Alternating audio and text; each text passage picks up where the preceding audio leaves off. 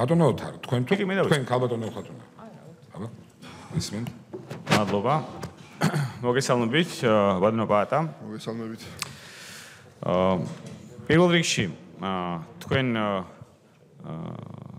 ზანდებოდით დეკემბერში იმ სიაში, სკანდალურ სიაში, რომელმაც გამოიწვია სერიოზული ნებათაღელვა, კრიტიკა, რომელიც მოდიოდა როგორც არასამთავრობო სექტორიდან, ისე პარლამენტიდან, მათ შორის უმრავლესობიდან და ამ საკითხთან დაკავშირებით ჩვენ ერთ პოზიციაზე ვიყავით.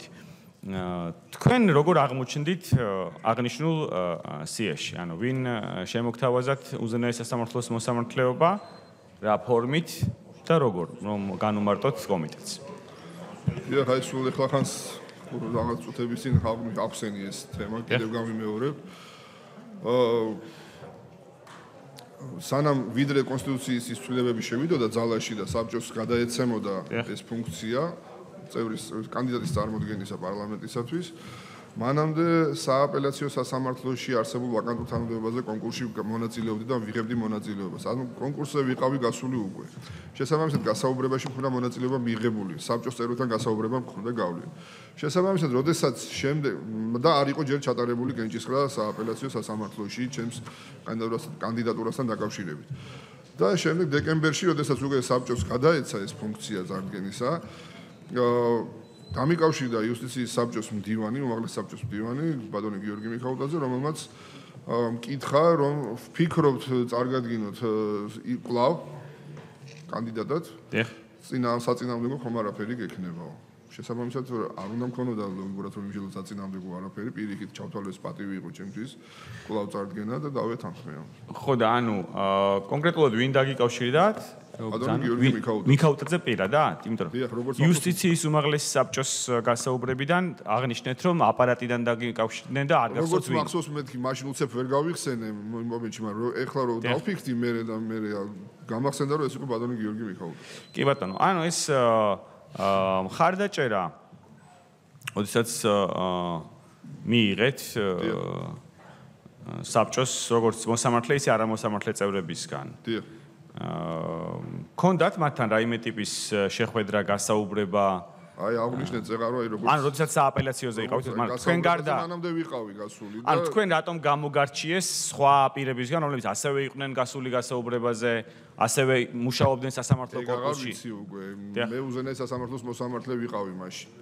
და 10 წლიანი პერიოდით გამოცდილება და პრაქტიკაც მქონდა ალბათ ეს იყო ერთ-ერთი ასე ვთქვათ, მამოძრავებელი ძალა, რაც დამიკავშირდნენ და მკითხეს, რომ სული ხო თუ გაქვს, კლავ ფიქრობთ, ვიმსჯელებთ და მე გადავწყვეტ. საწინააღმდეგო ხომ არაფერი გავს და ჩემგან თანხმობა მიიღეს, რომ მადლობის მეტი არაფერი მეთქმოდა და კი ბატონო. თქვენ თავად ბრძანდებოდით იუსტიციის უმაღლესი საბჭოს წევრი, ხო? რომელ წლებში? 2013-დან 17-მდე. 13-დან 17-მდე. აა ამ წლებში იყო სერიოზული სკანდალი, რომელიც ეხებოდა საგამოცდო ტესტებს, მოსამართლის საკვალიფიკაციო გამოცდის. აა აღნიშნული ტესტების შედეგებმა გაჟონა ამას საკითხზე პროკურატურაში მიმდინარეობს გამოძიება.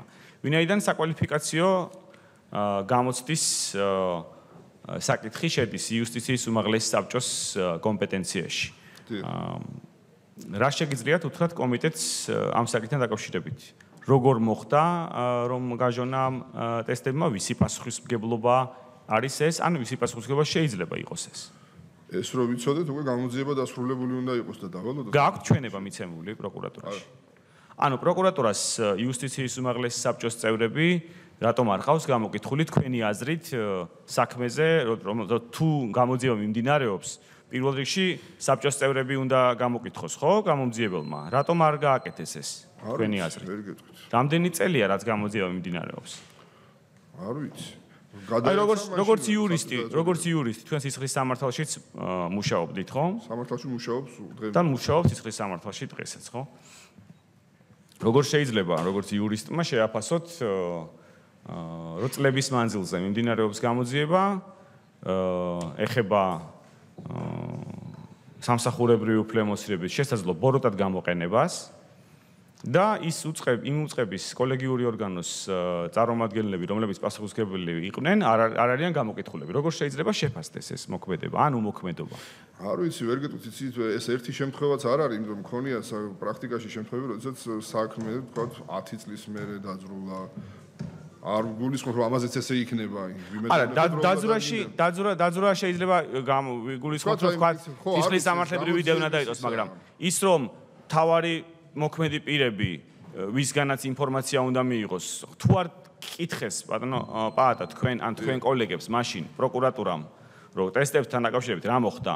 ის როგორ გამოიძიებენ ხო? და რატომ არ გეკითხებიან მეთქი? თქვენი აზრი თუ შეიძლება არავინ არ მოსულა ჩემთან და სწორია ეს რომ ამ ასე ასე ატარებენ გამოძიებას ეს რო შეგვიფასოთ რამდენად ამდენად მე თუ გითხავთ ნებისმიერ შემთხვევაში რაც დროული და ეფექტური იქნება ყველაფერში ყოველთვის ის ჯობია კი ბატონო. ცხელგვალზე და ცხელგულზე ვიდრე თქვათ მე მაგრამ კი ბატონო. განარჩენი არ ვიცი ვერ გეტყვი. კი ბატონო. თქვენ როდესაც იუსტიციის უმაღლეს საბჭოს წევრი ბრძანდებოდით სერიოზული სკანდალი იყო როდესაც მოსამართლეს აძლევდა სახელმწიფო გარკვეულ თანხას იმისთვის რომ მას უზრუნველყოფილი ქონოდა საცხოვრებელი ეს ეხება მოსამართლე გუჯაბიძეს და აღნიშნულმა მოსამართლემ სახელმწიფო სახსრებით სახლი იქირავა საკუთარი დედისგან. რამდენად სწორია ის ჯერაც კითხვა ფორმულირებული როგორც არის, ნამდვილად ასე იყო თუ არა, რადასტურებ თუ არა, რომ ესე ფაქტობრივი გარემოებები სწორად აღწერე. ფაქტს ხონდა ადგილი, მაგრამ ხა რამდენად სწორი იყო და არ იყო სწორი ამასთან დაკავშირებით. არა, არა, მე მე თვითონ, ანუ ფაქტი ხო სწორად აღწერე, მეთქი, ანუ სპეკულაციას ხომ არ აქვს ჩემგან, ჩემი მხრიდან ადგილი. კეთილი, მაშინ რო უთხრათ კომიტეტს და ზოგადად საზოგადოებას სამოსამართლო корпуს თქვენ უზენაეს სასამართლოში უადოთ გნებავთ განწესება, ხო? რამდენად ეთიკურია? აა, როდესაც მოსამართლეს აძლევს სახელმწიფო თანხას და იმისთვის რომ იქირაოს მინა და ის დედამისს აძლევს იმ ამ ფულს ან არ ვიცი აძლევს თუ არა ყოველ შემთხვევაში ასე აფორმებს და ცხოვრობს აღნიშნულ სახლში. რამდენად სწორია ეს და რამდენად ეთიკურია მოსამართლის პრინციპი? თქვენ კიდევ ერთხელ გაიმეორეთ რამდენად ეთიკურია. ასევე ეთიკური არ იქნება ჩემი მხრიდან ჩემი კოლეგის მიმართ დღეს ვიმსჯელო ამ საკითხთან დაკავშირებით და თავ შევიკავებ ამიტომ. კეთილი.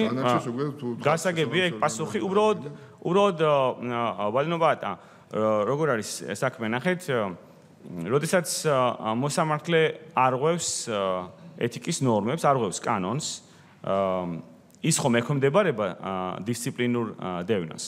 დიახ. დისციპლინური საქმის წარმოება ხომ იუსტიციის უმაღლეს საბჭოს ერთ-ერთი კომპეტენცია გახლავთ. თქვენ ბრძანდებოდით იუსტიციის უმაღლეს საბჭოს წევრი. კი ბატონო. იუსტიციის უმაღლესმა საბჭომ აღნიშნული საქმე შეისწავლა და საზოგადოებას რომ მოახსენოთ, რა გადაწყვეტილება მიიღო? როგორც მახსოვს დარწმუნებული არ არ ვარ ზუსტად, მაგრამ როგორც მახსოვს მე მგონი შევაჩერეთ და მიმართეთ პროკურატურას გადავაგზავნეთ საქმე სისხლის ამ არ მახსოვს ზუსტად. არა და დახურეთ ეს საქმე იმიტომ რომ ვერ დაინახეთ პრობლემა. და ამიტომ გისვამთ. მე ამ კითხვას ანუ მე მე იმას კი არ გეკითხებით რა თეორიულ სიტუაციას როგორ შეაფასებდით. ან თქვენი კოლეგის განსჯას კი არ გთხოვთ. მე ამ შემთხვევაში თქვენ როგორც იუსტიციის უმაღლეს საბჭოს მაშინდელ წევრს გისვამთ კითხვას. თუნდაც თქვენ განიხილეთ ეს საქმე ქალტონი გუჯაბის. ანუ გადაწყვეტილება იქნა მიღებული იმის შესახებ რომ ანუ ჩემი ჩემი ინფორმაციით, ჩემი ინფორმაციით ამ საკითხთან დაკავშირებით ეს საქმე იქნა დახურული. ვინაიდან ვერ აღმოაჩინეთ იქ ეთიკის ნორმების დარღვევა ან სახელმწიფო სახსრების ანამიზნობრივი განკარგვა და მოსამართლეს არ მოსამართლის მიმართ არ აწარმოეთ დისციპლინური დევნა. ანუ ეს კომპეტენცია ის ვალდებულებას პრინციპში რომელიც თქვენ ეგეთი გადაწყვეტილება ბატონოთარ არ მახსოვს იმიტომ მე პირიქით მახსოვდა ეხლა რაც კი პასუხეთ ზე ანუ მე მეგონი მე როგორც მახსოვს მე მგონი შევაჩერეთ საქმის წარმოება და გადავეცი. არ მახსოვს თავს ვერ დავდებ ნამდვილად რა მოხდა შედეგი დამთავრდა მე ანუ თქვენ ამბობთ რომ ამას აუცილებლად ამ პასუხს გადავამოწევ დღის მეორე ნახევარში დაგიბრუნდებ. ამიტომ კი ბატონო. ანუ თქვენ როგორც გახსოვთ შეაჩერეთ საქმე? როგორც მახსოვს მე ეს კოლეგიური ორგანო როგორც გახსოვთ შეაჩერეთ და რა გადაწყვეტილება იქნა, მაგრამ ლოგიკურად რომ გავყვე, მგონია ესე იყო და არ ვიცი ზუსტად ვერ გეტყვით. ანუ მაშინ ესე ვთქვა თქვენ როგორც და ვერც იმას აღარ იგი გავიგე. ანუ იუსტიციის გავიგე რო არ გახსოვთ მაგრამ სწორედ ახლა გთხოვთ ეს საქმე არის დახურული. ანუ თქვენ იუსტიციის უმაღლეს საბჭოს წევრი აღარ ბრძანდებით. მაგრამ მაშინ როცა ბრძანდებოდით გავიგე რომ არ გახსოვთ, მაგრამ აი ამ ფაქტს ამ გარემოებას როგორ შეაფასებდით? დღეს როგორც ეთიკური საქციელს თუ როგორც არაეთიკურ საქციელს. აი ზაღანაც გითხარით კოლეგის მიმართ დღეს აქ მე ვერ მიმჟელებ ეთიკურ. ხო და ანუ ბატონო პატა ნახეთ მე კოლეგას კოლეგას კოლეგას კი არ გაფასებინებ. ჩვენ ამ შემთხვევაში იურიდიული კომიტეტის წევრები, დეპუტატები, ფართო საზოგადოება ვაფასებთ თქვენ რამდენად სწორად ასრულებდით იუსტიციის უმაღლესი საბჭოს წევრის ფუნქციას და რამდენად სწორად ახორციელებდით მათ შორის იმ ფუნქციას, რომ მოსამართლე როდესაც კანონს არ ღვევს, ანალიტიკურად იქცევა, მის მიმართ დისციპლინური დევნა აწარმოოთ. თუ თქვენ თვლით რომ როგორც იუსტიციის უმაღლესი მაშინ როცა განიხილეთ ეთიკური იყო ხალტონი გუჯაბიძის საქციელი? თუ არა ეთიკური? აი მსჯელობის ეტაპები მახსოვს რომ იყო მაგრამ მე რა შედეგი დამთავრდა? თუ თქვენ დაგეთანხმებით რომ დახურულია აღარ მახსოვს მეთქი ამას რომ თუნდაც გადაგაკეთეთ არა არა. ხო და აღარ გეკითხებით აღარ გეკითხებით მსვლელობაზე. შეფასება შედეგი და შეფასება გამოდის რომ მე დღეს ვაფასებ ჩემ კოლეგას აი ამ პოზიციიდან. ხო და იქ ეთიკურად ბატონო პატა იქ ხომ უნდა შეგეფასებინათ? ანუ დღეს ის სამართლა ხმება თუ იქნებოდა მე იქ საბჭოს წევრი ვიქნებოდა როგორც ერთი ხმა ჩემი ხო და როგორ მოიქეცეთ მეთქი მაგას გეუბნებით და როგორ როგორ აფასებთ? დღეს მაშინ როგორ შეაფასეთ? ამას გეკითხები ხო და დღეს აღარ ვაფასებ იმიტომ რომ აი აქ და მაშინ როგორ შეაფასეთ? მაშინ ბადნო პაატა გითხარით არ მახსოვს მეთქი და რა ვქნა ეხლა ფაქტი ხო და ეხლა ძალიან უხერხული სიტუაცია იქნება. ანუ მაშინ როგორ შეაფასეთ? არ გახსოვთ და დღეს კიდევ არაფასებთ, იმიტომ რომ საბჭოს წევრი აღარ ხარ? არა, საბჭოს წევრი არ, მე მოსამართლე ვარ და კოლეგაა ჩემი დღეს ეს. ხო და მე მე ამიტომ ეთიკის ესებიდან გამომდინარე მე მის საქციელზე დღეს ვერ ვიმჟელებ. გასაგებია. კარგი, გავიგე. შემდეგი საკითხი, რომელიც მე მინდა განვიხილო, ეხება აქ ძალიან პოპულარულია ამ დარბაზში ჩემი კოლეგების მხრიდან. რა ხდებოდა? 2012 წლამდე და რა მოხდა 2012 წლის შემდეგ და თქვენ აქტიურობთ სოციალურ ქსელებში სხვადასხვა სტატუსებზე თქვენი კოლეგების რომ მაგალითად ბატონი დიმიტრი გრიტიშვილის, ბატონი სერგო მეთოფიშვილის ზოგადად ეს პირები რომ მოახსენოთ საზოგადოებას ასევე აი დიმიტრი გრიტიშვილი, სერგო მეთოფიშვილი, გიორგი მიქაუტაძე, ლევან მურუსიძე, მიხეილ ჩინჩალაძე ეს პირები ვინ არიან? თქვენ რა ურთიერთობა გაქვთ ამ პირებთან და რა დამოკიდებულება? კოლეგები არიან. ცოტა ახლოს მიკროფონი. ბოდი, ჩემი კოლეგები არიან. თქვენი კოლეგები არიან. დიახ. კი ბატონო. აა ამ თქვენმა კოლეგებმა ბატონმა დიმიტრი გუდეშვილმა და ბატონმა სერგო მეთოფიშვილმა დაწერეს Facebook-ზე ორი სტატუსი. დიახ. ერთი სტატუსის მიხედვით ადვოკატთა ასოციაციის კონკრეტულ ეგრეთ წოდებულ რეზოლუციას გამოეხმაურა ბატონი დიმიტრი. და თქვა რომ ის რომ ბრალდება რომ წინა ხელისუფლების დროს ანუ 2012 წლამდე მოსამართლეები პოლიტიკურ დაკვეთებს ასრულებდნენ არის შეურაცხყოფელი, პროვოკაციული, უზნეო, ასე შემდეგ, სხვადასხვა ეპითეტებით ამკობს ადვოკატთა ასოციაციის აი ამ რეზოლუციას, რომ ეს ყველაფერი არის სიბინძურე, ჭორები და ასე შემდეგ. აი ეს განცხადება ბატონი დიმიტრი გრიტიშვილის თქვენ მოიწონეთ ამ თქვენ დაეთანხმეთ აღნიშნულ განცხადებას. ამ დარბაზშიც რო გაიმეორთ, იმიტომ ჩემი ძალიან ბევრი კოლეგა ქართული ოცნებიდან ფიქრობს ისე როგორც ადვოკატ ასოციაციის იმ რეზოლუციაში არის გადმოცემული და თქვენ და ბატონ დიმიტრის ამასთან დაკავშირებით განსხვავებული ხედვა გაქვთ, ანუ პოლიტიკურ პოლიტიკური ზეწოლა, პოლიტიკური წნეხი სასამოსამართლეების მიმართ 2012 წლამდე არ ყოფილა?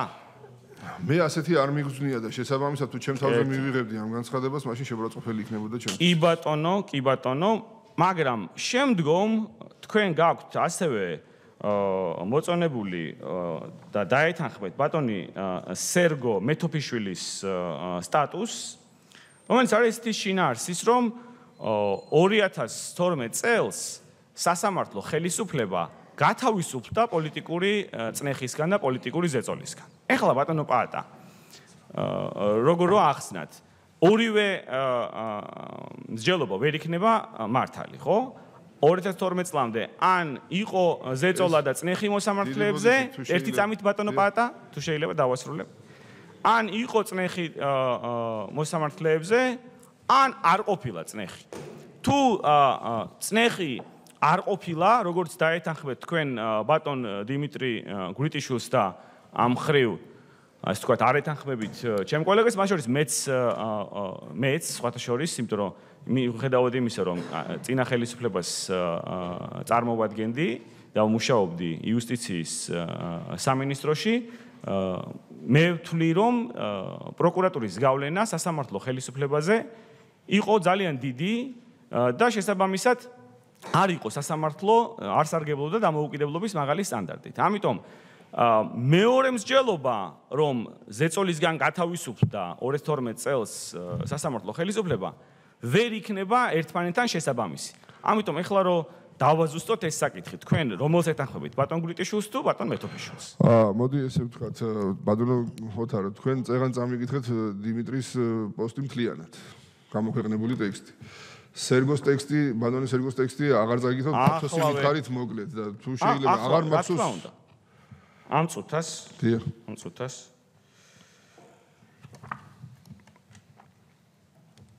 აი ნახეთ, საკმაოდ დიდი სტატუსია. ჩვენ არაერთხელ გვითქვამს, ციტატა. ჩვენ არაერთხელ გვითქვამს, რომ 2012 წლიდან ქართული ოცნების ხელისუფლებამ გაატარა კარგი რეფორმები სასამართლო სისტემაში, რომელთა შედეგად მართლმსაჯულების სისტემა გათავისუფლდა პოლიტიკური წნეხისა და პოლიტიკოსების გავლენისგან.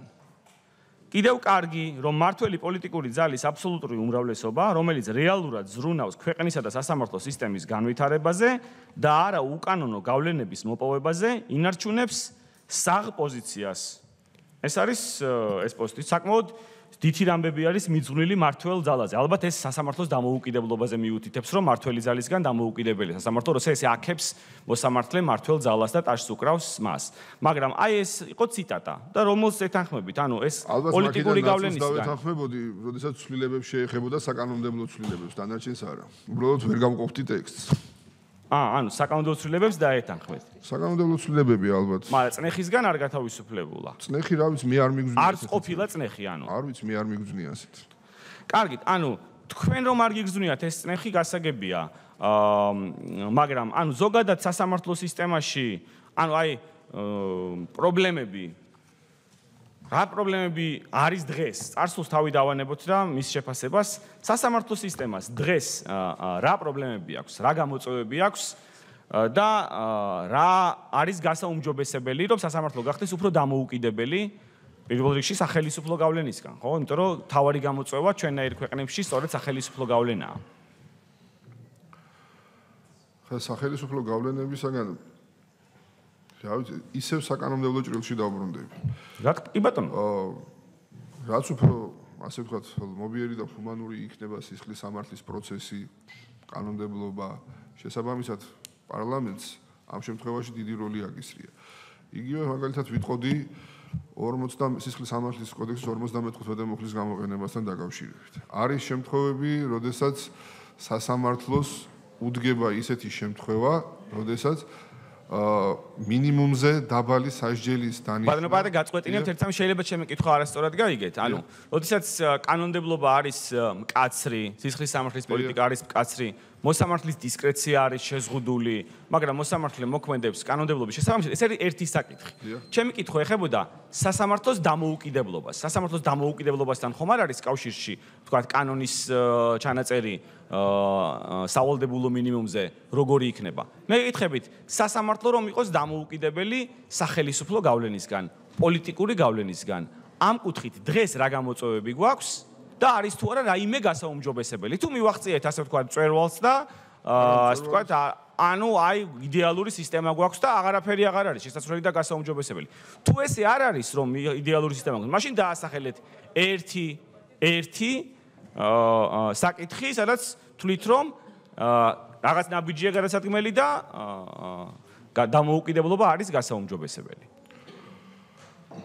აა რა ვიცი ხა ასე დეტალურად მართლა სიმართლე რო გითხრათ ეხლა აი ამ კუთხით აქამდე თქვენ კითხავდი ამაზე არ მიფიქრია სიღრმისეულად თუმცა აი ეს რეფორმის ეტაპები რაც დღეს სასამართლოსთან მიმართებაში მიმდინარეობს იქ შეიძლება ვითარდება და უფრო მეტი ერთი მაგალითი რომ მოიყვანოთ, ბატონო ბატონო, მე არ გთხოვთ რაღაც საბოლოო დიდ სიღრმისეულ მსჯელობას, ანუ მაგალითი რომ მოიყვანოთ, რომ გავიგოთ თქვენი ხედვა როგორია, რომ აი უზენაეს სასამართლოში გინდათ უვადოთ განწესება და ფიქრობთ რომ აი რაღაცეები შესაძლებელია გულშემატკივრობთ სასამართლო სისტემად, გინდათ რომ უფრო დამოუკიდებელი გახადოთ ერთ დაასახელებთ ერთ გარემოებას მაინც, რაც არის შესაძლებელი. აი ხა როგორც მოსამართლე და როგორც სასამართლოს ჭრილში არ ვამბობ დიახ. იმას დანარჩენი ეს არის კანონმდებლობისა და კანონის თქვენ როგორ მიიღებთ და თქვათ შესაბამისად ხელისუფლება რა პროექტებს შემოგთავაზებს.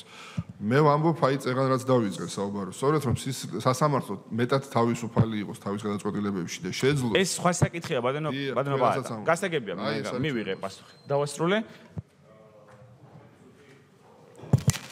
შეიძლება არც დამჭირდეს ბატონ დავით მაგდენი. ანუ თქვენ ამოწურეთ ბოდიში ქალბატონ ხათუნა თქვენ ამოწურეთ ახლა დრო და დამატებას ნო არა არა დამატებითი როგორც წინა ფრაქციაზე თქვენ არიყავით ბატონო და წინა ფრაქციას რა რა დროს დაემატა იგივე დროს დამატებაზე ლაპარაკი მეტი არაფერი. გისმენთ დაუმატებთ მოგესალმებით ბატონო პატა რამდენიმე თემა მინდა თქვენთან ერთად გავიარო. პირველი ყოველგვარი გაუგებრობა რომ თავიდან გამოვრიცხოთ მე მინდა კითხოთ ხო ნამდვილად იცით რას ნიშნავს სოციალურ ქსელში, როდესაც არის ხოლმე ეგრეთ წოდებული დალაიქება. ანუ ეს ნიშნავს რომ მოგწონთ და ეთანხმებით, ხო? ამაზე ამაზე ვთანხმდებით. აა სწორედ აქედან გამომდინარე, ჩემი შეკითხვა შემდეგში მდგომარეობს, რომ 2018 წლის 27 დეკემბერს სერგო მეთოფიშვილმა გამოაქვეყნა პოსტი, რომლის შინაარსი შემდეგია. ვულოცავ ლევან მურუსიძეს, ვულოცავ სასამართლო სისტემას. ლევანი არის ადამიანი, რომელიც სასამართლო სისტემაში სარგებლობს უდიდესი ავტორიტეტით, კეთილსინდისიერი და ღირსეული პიროვნება, უმაღლესი კვალიფიკაციის მოსამართლე. ბევრ წარმატებას ვუსურვებ მას.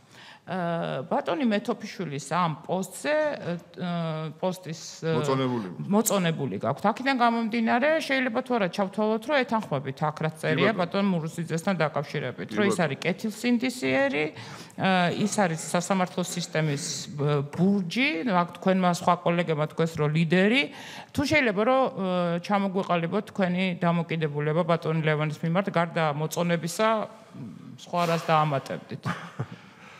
ლევანი არის ჩემი კოლეგა.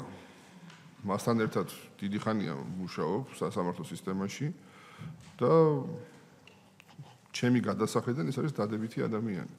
როგორც კვალიფიციური იურისტი და როგორც კეთილსინდისიერი ადამიანი. არა, როგორც კეთ ადამიანზე არ არის, ამ შემთხვევაში როგორც მოსამართლე შემიფასო თუ შეიძლება, ეს არის კვალიფიციური და კეთილსინდისიერი მოსამართლე. ეს არის თქვენი მოსამართლე. მოსამართლეს და ადამიანიც. მოსამართლეს და ადამიანიც არის ის სასამართლოს ლიდერი. სასამართლო სისტემის ლიდერიო ასე ამბობენ მას თქვენ სასამართლო ასოციაციის თავმჯდომარე. ამას თუ გულისხმობთ ლიდერია. ბატონო? ის არის მოსამართლეთა ასოციაციის თავმჯდომარე. დიახ. ამას თუ გულისხმობთ ლიდერია. ისე აი თქვენთვის არის სამაგალითო მოსამართლე აი ვისნაირიც გინდათ რომ იყოთ. ჩემთვის სამაგალითო მოსამართლე გახდათ დღეს აღარ არის ცოცხალი საქართველოსში ბატონი გუგული დევდარიანი მე ლევან მურუსიძეზე გეკითხებ თამშა. ლევან მურუსიძეზე გითხარით, ჩემი კოლეგაა და ვიცნობ და მას წამოხდა. ანუ გინდათ რომ ისნაირი ავტორიტეტი და დამოკიდებულება ქონდეთ სასამართლო ბატონ ლევან მურუსიძეს. მე გითხარით ვისნაირიც მინდა ვიყო და დავეძიო ვინც. გასაგებია. ანუ გამომდინარე იქიდან რომ 2013 წლის ივნისში მოსამართლეთა კონფერენციაზე თქვენ იყავით ერთ-ერთი კანდიდატი იუსტიციის უმაღლეს საბჭოს დივნობის და ისევე როგორც ილონა თოდუამ, გიორგი შავლიაშვილმა და თამარ ალანიამ თქვენ მოხსენით კანდიდატურა ლევან მურუსიძის სასარგებლოდ. დივნობის კანდიდატი არ ყოფილა. თქვენ ხო მოხსენით კანდიდატურა ლევან მურუსიძის სასარგებლოდ? ბატონო? მე არ დავაყენე კანდიდატურა. და თქვით რომ ამას აკეთებთ ლევან მურუსიძის სასარგებლოდ, ხო? ესეთი რაღაც თქვი არა? ესე იყო, დიახ, თქვენ ციტატაა. რას ბრძანებთ? არა, არ დამიყენებია კეჭის ხრაზე საერთოდ და არ მithქვია ეგეთი რაღაც.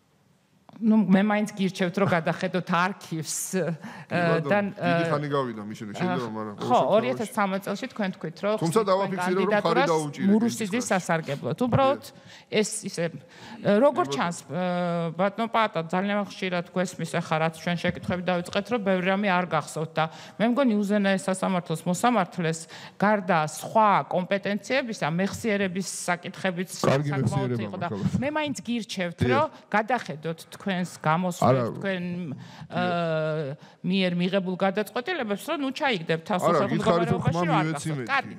ეხა გადავდივარ სრულიად სხვა საკითხზე. საკითხი შეეხება თქვენს დეკლარაციას. დიახ.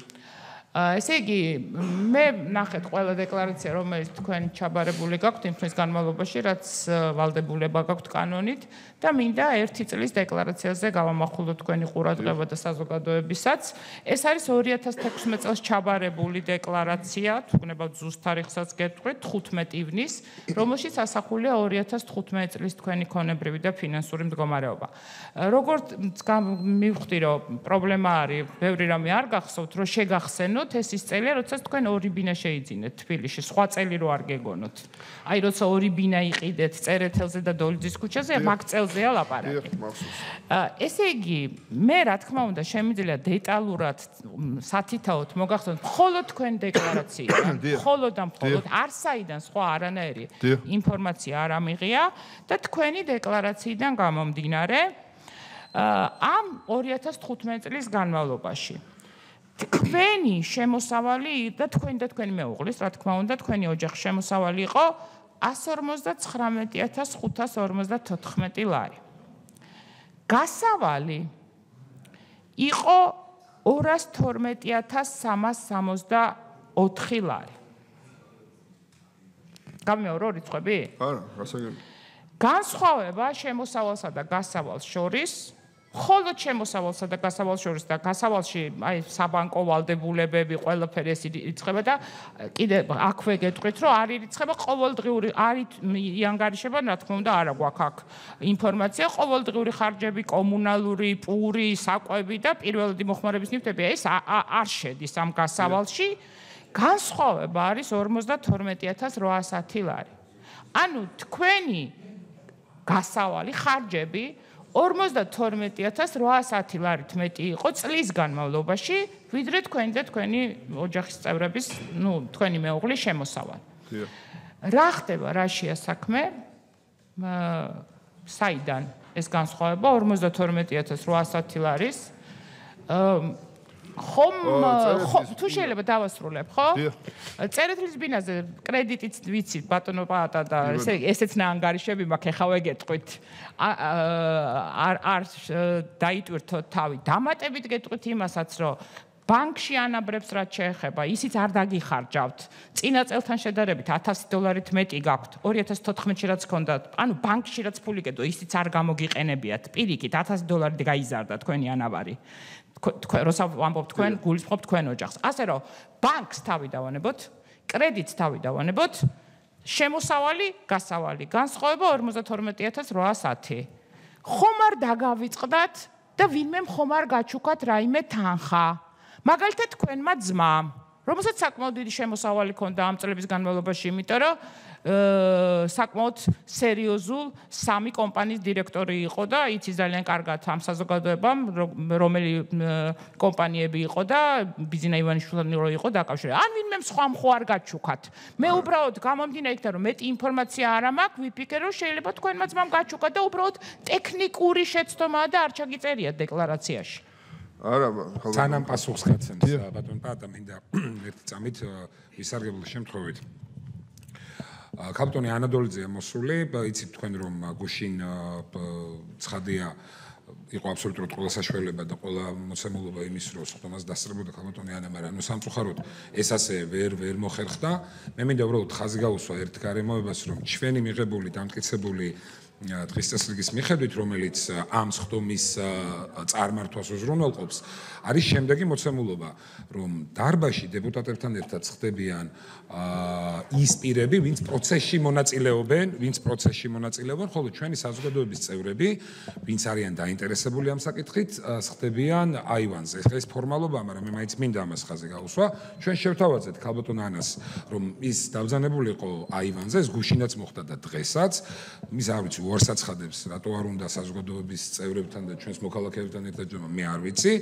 ის ადაჟნებით აცხადებს დარბაში შემოსვლის სურვილს, რა თქმა უნდა, თუ კი ასეთი დაჟნებული მოთხოვნაა და შეუძლებლობა მოქალაქეებთან ერთად აივანზე ჯდომის, რა თქმა უნდა, ჩვენ მივცემთ ამის საშუალებას, მობძანდეს, დავძანდეს უბრალოდ კითხვის დასმის საშუალება მას სამწუხაროდ არ ექნება, მაგრამ მას ექნება საშუალება თუ მას გააჩნია ასეთი კითხვა, ჩამოაყალიბოს და ბოლოს მე გავაჟღერებ. მე ძალიან ბოდიში გიხდით, თქო გაცეთ პასუხი.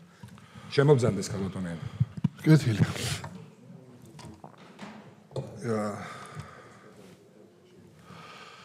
აა გასაგებია თქვენი კითხვა ხალბატონო ხათუნა აქ წერეთლის ბინა შეძენილი არის კრედიტით.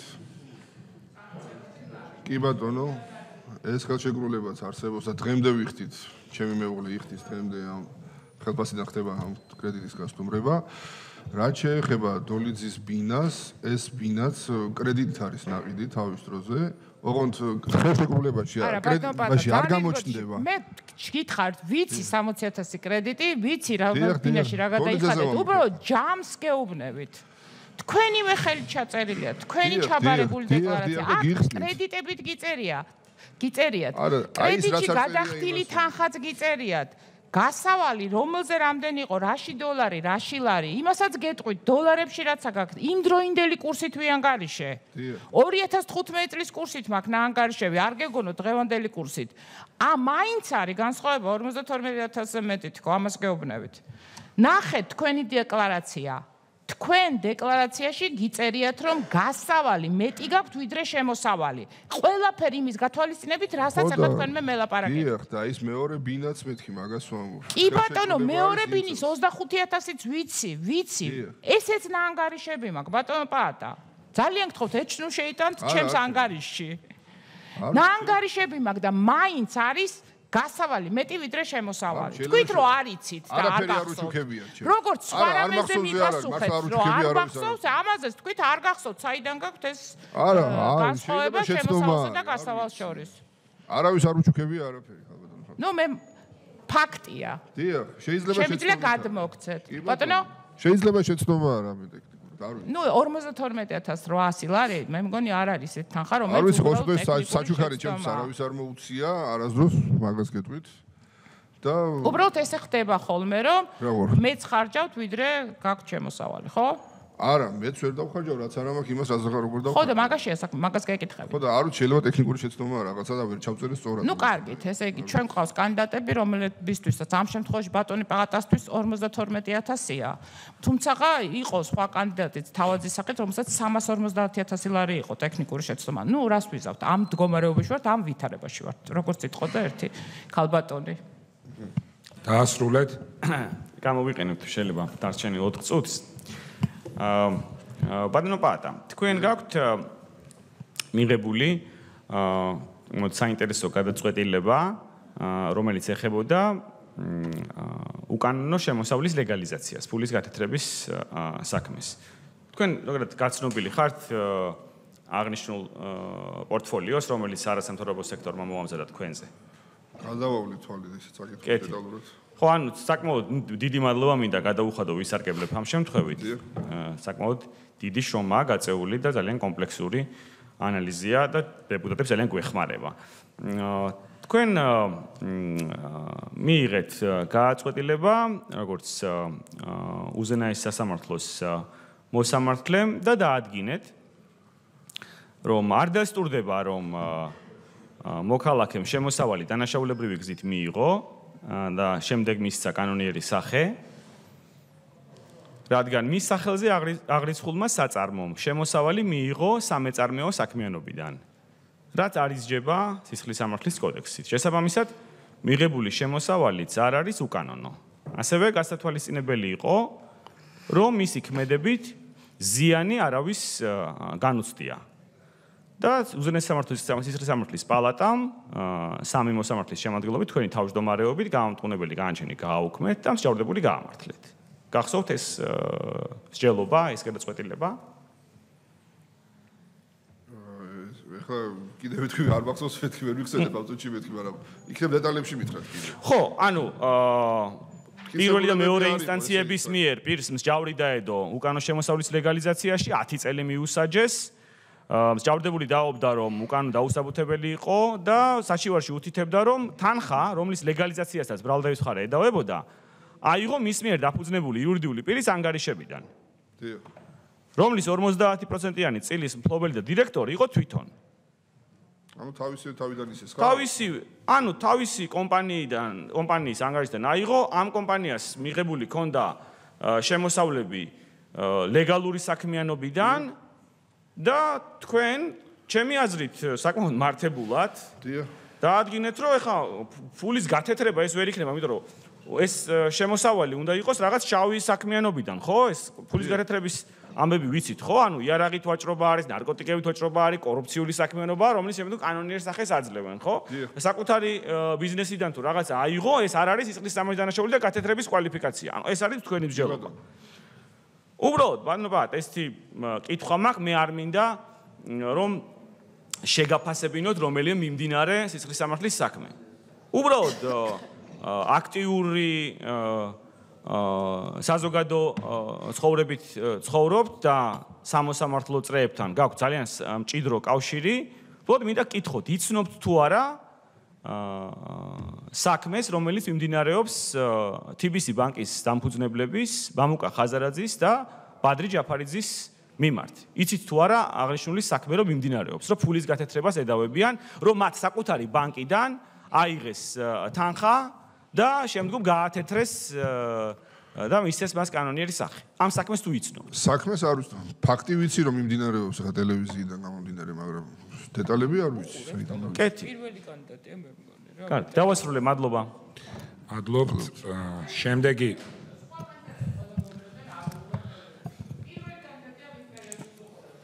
დასრულდა ქალბატონო ხათუნა დასრულდა დიდი მადლობა. უფრო მეტად შვილის შემხედარე ბასტი ბუბუს უყურებ ხოლმე აა შემდეგი ფრაქცია გახლავთ ქართული ოცნება კონსერვატორები ქალბატონო ნინო გისმენთ